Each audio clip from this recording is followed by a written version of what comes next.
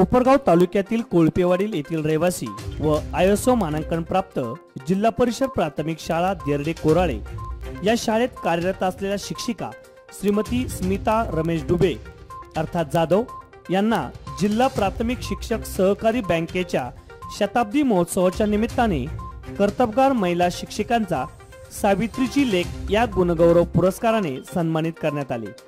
त्यांनी आजपर्यंत आपल्या शाळेत अनेक शैक्षणिक उपक्रम स्पर्धा परीक्षा सांस्कृतिक कार्यक्रम राबवून शाळा समृद्ध केली आहे. त्यांना मिळालेला पुरस्कार त्यांनी शाळेच्या सर्व विद्यार्थ्यांना तसेच माहेर सासर व सहकारी बंधू भगिनींना समर्पित केल्याची भावना व्यक्त केली आहे. स्मिताताईंचे पतिदेव श्री कैलास जाधव देशसेवेतून निवृत्त झालेले आहे. त्यांच्या पतिदेवांचाही खूप मोठा वाटा आपल्या पुरस्कारात असल्याचे ताईंनी मुलाखत देताना सांगितले. जिल्हा अहमदनगर जिल्हा शिक्षक सहकारी बँकेच्या व- शताब्दी महोत्सवाच्या निमित्ताने आयोजित केलेल्या कार्यक्रमाच्या निमित्ताने काही महिलांचा गुणगौरव महिलांचा योग्य तो पुरस्कार त्या ठिकाणी केला गेला. अशाच प्रकारचा गुणगौरव ज्या ठिकाणी केला गेला अर्थात अहमदनगर जिल्ह्यातील कोपरगाव तालुक्यातील जिल्हा परिषद प्राथमिक शाळा की ज्या शाळेला आय एस ओ मानांकन आहे अशा आय एस ओ मानांकन असणाऱ्या शाळेमध्ये आज आपण आहोत. अशा मॅडमच्या अर्थात सन्माननीय त्यांचं नाव आहे श्रीमती स्मिताताई रमेश डुबे. अर्थात त्या मॅडमला एका गुणगौरव की ज्या सावित्रीची लेख या पुरस्काराने सन्मानित केलं गेलेलं आहे. अशा शाळेचे मुख्याध्यापक सन्मान्य त्या सरांशी बोलणार आहे. सर नमस्कार. नमस्कार. सर तुमचं नाव? माझं नाव बाबा दशरथ गायकवाड. सन्मान्य गायकवाड सरांशी आपण बोलणार आहोत की सर खूप मोठा असा दुग्ध शर्करा योग आहे. तुमच्या शाळेला आयसो मानांकन पण आहेत आणि त्यातल्या त्यात तुमच्या शाळेमधले ज्या अध्यापिका आहेत अर्थात डुबे मॅडम त्या डुबे मॅडमांना अहमदनगर जिल्हा सहकारी बँकेने एक कर्तबगार कारण सर त्या पुरस्काराचं स्वरूप असं आहे की कर्तबगार महिला भगिनीचा सन्मान त्यांच्या वतीने केला गेला आहे. आयुष्य मानांकन तुमच्या शाळेला आहे. तुमच्या शाळेतल्या मॅडमचाही सन्मान केला गेला आहे. नक्कीच तुमच्यासाठी सर्वांसाठी आनंदाची बाब असावी. होय आनंदाचीच गोष्ट आहे. आणि त्यालाच म्हणतात दूध दुग्ध शर्करा योग. आमच्या मॅडमला ज्यावेळेस हा पुरस्कार जाहीर झाला आणि त्याने तो स्वीकारला त्यावेळेस मी त्यांचं प्रथमतः अभिनंदन केलं आणि आमच्या शाळेची मान त्यांनी अधिकात अधिक उंचवण्याचा प्रयत्न केलेला आहे. माझे नाव श्रीमती आशा सरदार पठाण. माझ्या शाळेचे नाव आहे जिल्हा परिषद प्राथमिक शाळा देर्डे कोराळे आणि अ, मी डोबे मॅडमच्या स्टाफ मेंबर आहेत. आम्ही सर्वजण अगदी एकजुटीने काम करत असतो शाळेमध्ये आणि त्यांना हा जो पुरस्कार मिळाला तो अगदी योग्यच आहे आणि त्यामुळे आमच्या शाळेची मान अजून उंचावलेली आहे. त्या आमच्या शाळेला आय एस ओ पण मिळालेला आहे. त्यामध्ये मॅडमनी आणि पुरस्कार मिळाल्यामध्ये मॅडमचे अनेक उपक्रम आणि शाळेचं काम पण त्यांचं खूप छान आहे. सर्वात प्रथम मी असं सांगेल की सांस्कृतिक कार्यक्रमामध्ये त्यांचं खूप म्हणजे सहभाग असतो. त्याचबरोबर सांस्कृतिक कार्यक्रमाचं निवेदन पण त्यांनी एक खूप उत्कृष्टरित्या केलेलं आहे. त्यानंतर मागच्या वर्षी त्यांच्याकडं पाचवीचा वर्ग होता. पाचवीच्या वर्गामध्ये आम्ही शिष्यवृत्ती परीक्षेत चार मुलं शिष्यवृत्तीमध्ये यादीत आमचे आलेले आहेत. त्यानंतर इंग्रजीवर त्यांचं खूप छान प्रभुत्व आहे. आणि सर्वात महत्त्वाची गोष्ट सगळ्याशी एकजुटीने राहतात त्या. अशा प्रकारे मॅडमला जो पुरस्कार मिळाला तो अगदी योग्यच आहे. आणि त्यांच्यासोबत तो पुरस्कार आम्हाला सगळ्यांनाच मिळाला. असं मला वाटतंय आम्ही सर्वजण त्यांच्या पुरस्कारात खूप आनंदाने सहभागी झालो. कार्यक्रमात आम्ही खूप मजा केली गेल्यानंतर तिथं पूर्णपणे आनंद घेतला एन्जॉय केला या कार्यक्रमामध्ये आम्ही सर्वांनी.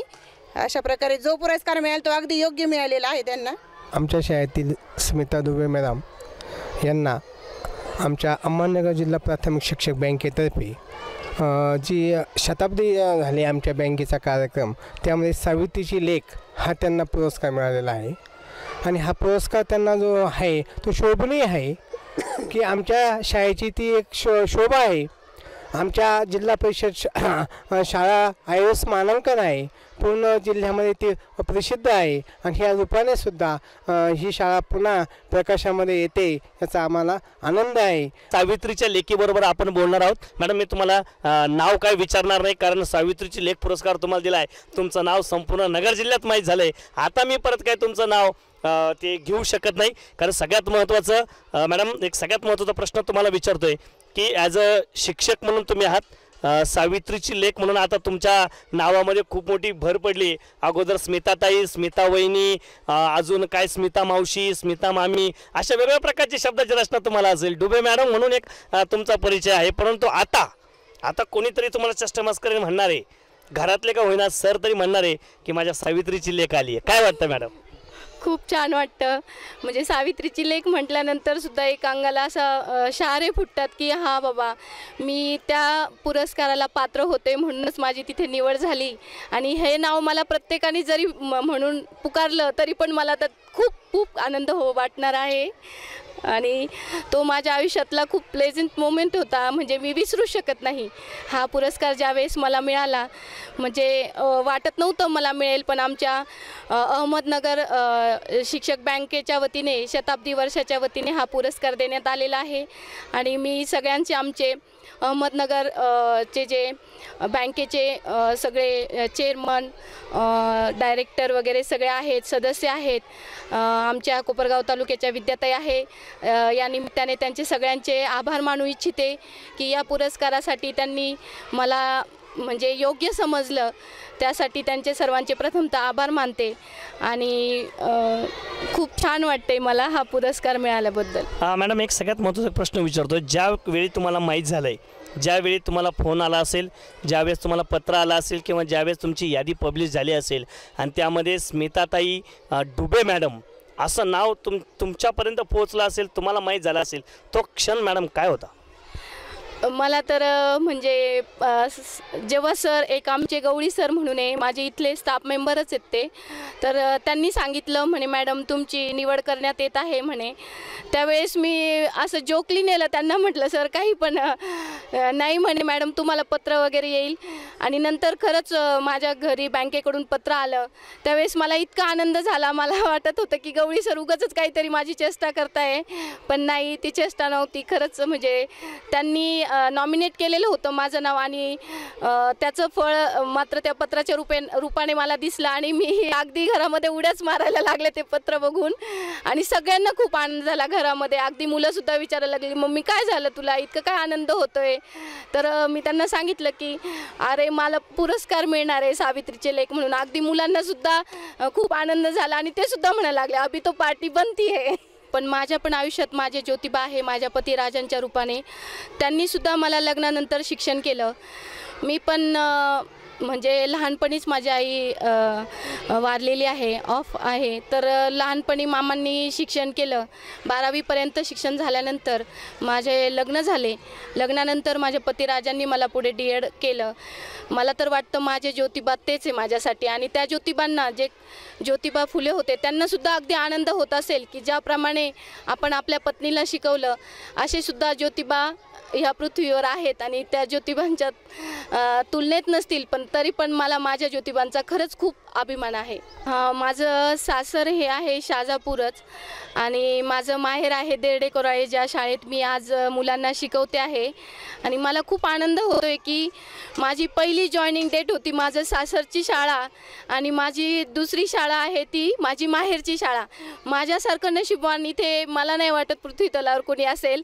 सासर आणि माहेर म्हणजे खूपच छान कॉम्बिनेशन अगदी शाळांचं सुद्धा मला परमेश्वरानं दिलं आहे.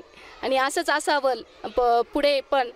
अशी इच्छा व्यक्त करते. मॅडम एक सद सगळ्यात महत्त्वाचं आम्हाला जरा थोडंसं तुमचा उखाणा मात्र या ठिकाणी ऐकावं लागेल. अत्तर झाड कत्तर पान अत्तर झाड कत्तर पान मामा हिंडले हिंदुस्तान तर कैलासराव भेटले सोन्याची खान सोन्याची खान. खत्र मामांनी त्यांचं शिक्षण पूर्ण केलेलं आहे. नक्कीच त्या मामांचा शब्द धरून सन्मान्य कैलास भाऊंचं नावसुद्धा अगदी शब्दसुमनाने त्या ठिकाणी गुंपलेलं आहे. तुम्ही सांस्कृतिक कार्यक्रम या ठिकाणी पार पाडलेत. आमचे प्रेक्षक तुम्हाला बघताय सावित्रीची लेख पुरस्कार तुम्हाला दिला आहे नक्कीच तुमच्याकडे एक्स्ट्रा ऑर्डिनरी ज्याला आपण म्हणूया की कलागुण हे नक्कीच तुमच्याकडे असावेत. मॅडम तुम्ही आमच्यासाठी काय सादर करणार? मी आता मला तसं डान्समध्ये खूप इंटरेस्ट आहे. मी डान्स खूप छान करते. पण कविता पण मी करते. तर माझ्या मामांवरती मी एक कविता केलेली आहे ती म्हणून दाखवते. अंधारलेल्या वाटेवरती तुम्ही बनून आला तारा. अंधारलेल्या वाटेवरती तुम्ही बनून आला तारा. गुदमरलेल्या जीवांसाठी तुम्ही बनला वाहता वारा.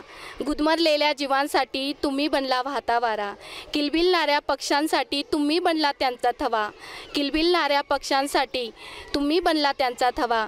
आणि भळबळणाऱ्या जखमांसाठी तुम्हीच बनला त्यांची दवा. तुम्हीच बनला त्यांची दवा.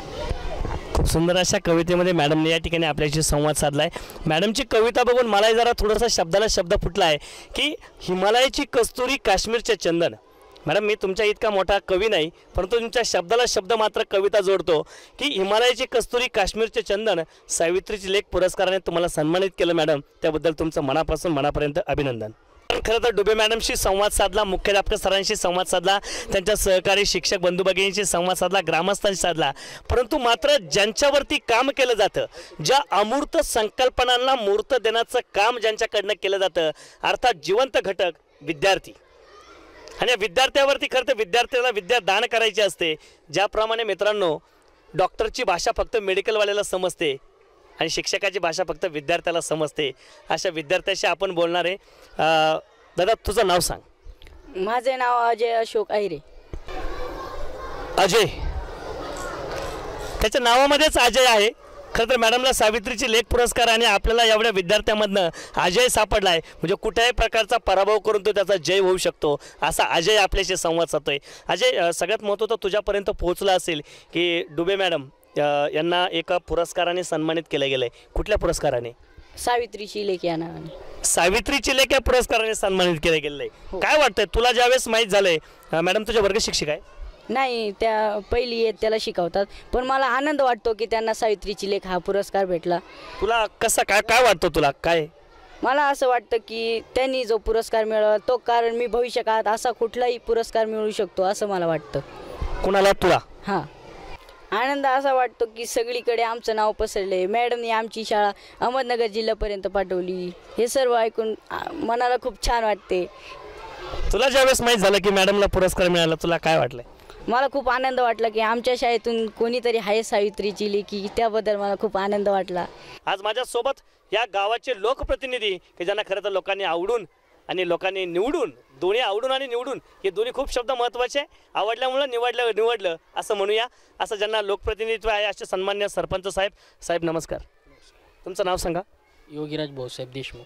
देशमुख साहेब आज आपल्यासोबत आहे. साहेब सगळ्यात महत्त्वाचा प्रश्न मी तुम्हाला विचारतोय की तुम्ही ज्या गावाचं नेतृत्व करताय मॅडम एका शाळेमध्ये तुमच्या गावातल्या शाळेमध्ये सेवा देत आहे मॅडमचं गावातलं पण नक्की तुम्हाला दोन्ही बाजूनं मात्र हक्कानं शाळेमध्ये आणि हक्काने मॅडमला तुम्ही विचारू शकतात. अशा प्रकारच्या दोन्ही गोष्टी तुमच्यासाठी आहे. आणि गाव पातळीवरती तुमच्या ग्रामविकासाच्या माध्यमातून बरोबरच त्या ठिकाणी मॅडमच्या कर्तृत्ववान अशा कर्तबगारामुळे मॅडमला सावित्रीची लेख पुरस्काराने सन्मानित केलं गेलं आहे नक्कीच तुम्हाला त्याबद्दल काय वाटतंय?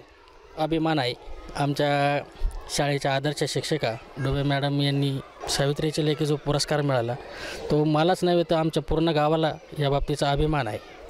आणि असंच आदर्श शिक्षक पुरस्कार इतरही शिक्षकांना मिळावा अशी मी अपेक्षा करतो. खरं तर आपल्या एस ट्वेंटी फोर न्यूजच्या माध्यमातून सावित्रीची लेख या पुरस्काराने सन्मानित केलेल्या डुबे मॅडम यांच्याशी आपण आता सध्या अ, देरडे कोराळे तालुका कोपरगाव जिल्हा अहमदनगर या ठिकाणी मॅडमशी आपण संवाद साधलाय. याच ठिकाणी आपण थांबूया. S twenty four news Ganesh Kamble sir video man Vijubhau Khairnar.